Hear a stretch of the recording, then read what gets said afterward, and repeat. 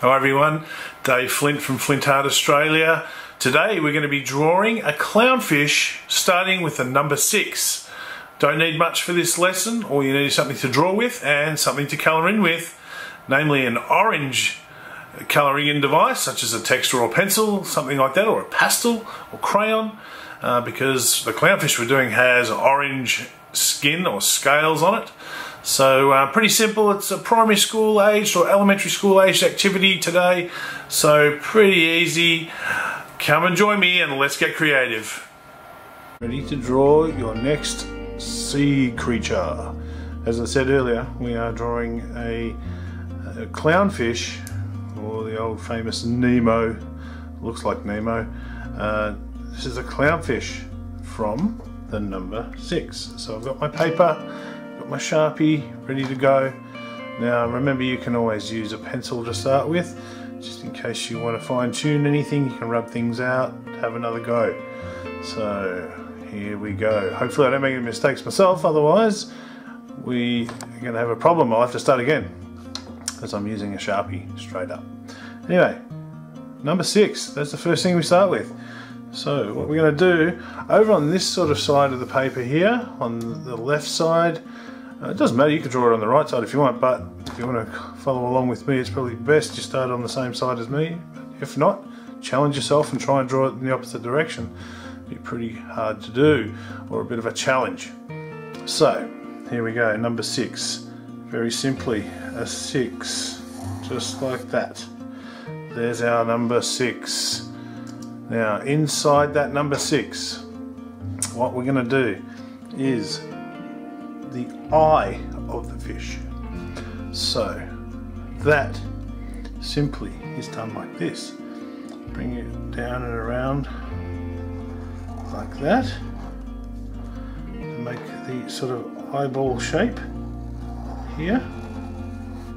And we're going to have a little reflection left in the eye. So I'm going to do a little circle just like that towards sort of going back towards the back of the eye a little and then color that in black. But do not go inside the little reflection that we want the eye there. So that's what I'm looking for there. Looks pretty good.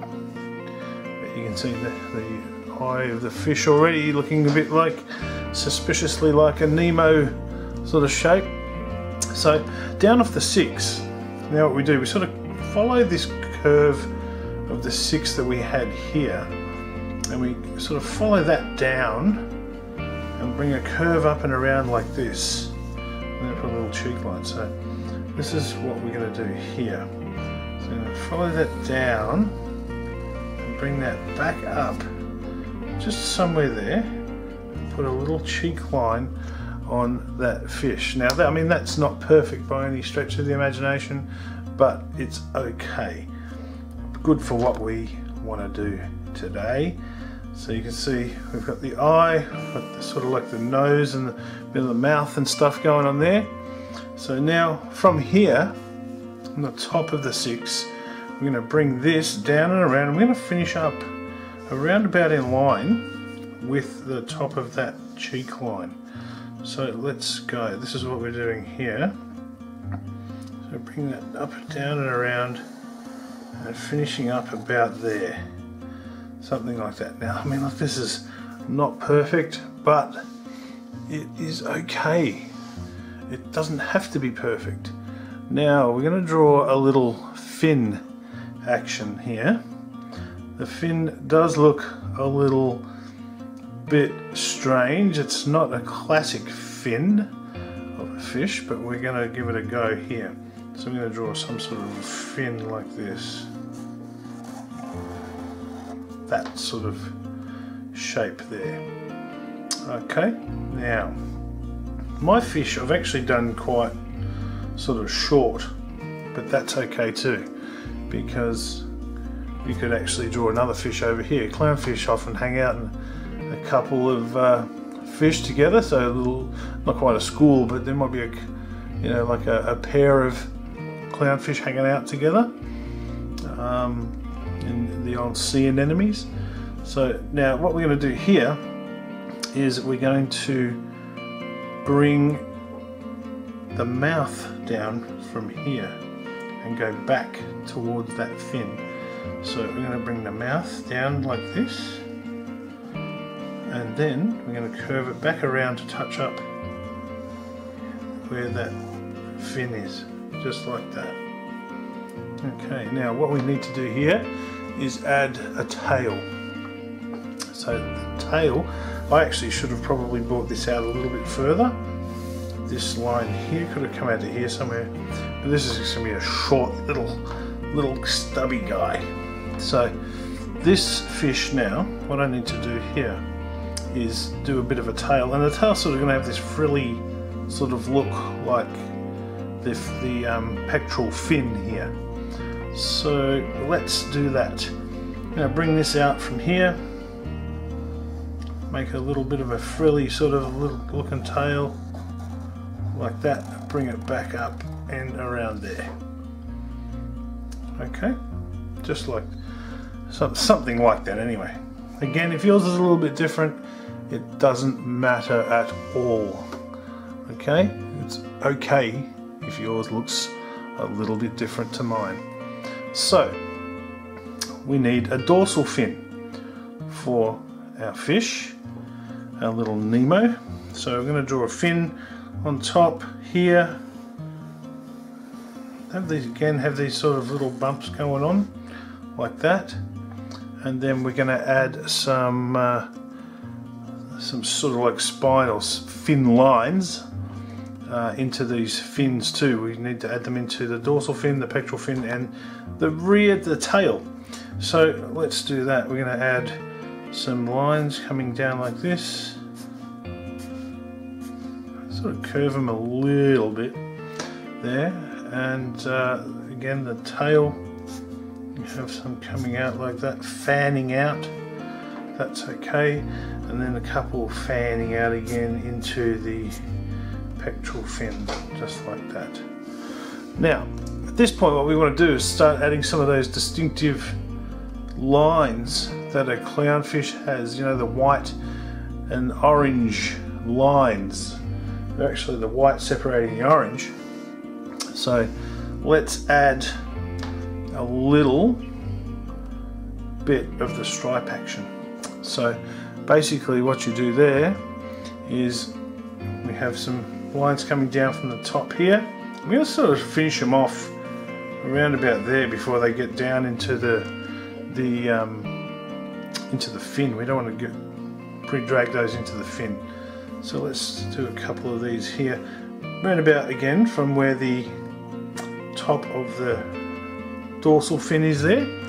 We can have those lines coming down. So like sort of wavy lines there another one that sort of follows that. Alright, you want to follow the similar shape that you've put in there and just finish them off like that. And again we're going to do another one over here. In between here will be orange. So another one here, there, and another one here, there and I think that's pretty good. You could have another one here if you wanted to. Again, just do that. That would be fine. So, there is your Nemo fish. My little Nemo's looking a little bit different to Nemo, but he's pretty cool. And uh, again, I've got a fair bit of paper left here, so I could draw another clownfish in here. Don't forget to draw a background in yours as well. Let's not just leave it as a white background. Have a some sort of background going on. I might add some seaweed. Well, actually, I'm going to do a, a sea anemone, I think. It's because these guys hang out in sea anemones. If you don't know how to draw those, I'm going to draw one in a second, but I'm going to do it in fast motion. And uh, if you need, you can always look up for a sea anemone on the internet just to see how to draw one. Um, otherwise, just put some seaweed in the back or rocks, anything you want. A bit of coral, you can put whatever you like in there, even draw another Nemo. Okay, girls and boys, I hope you enjoy this activity. and.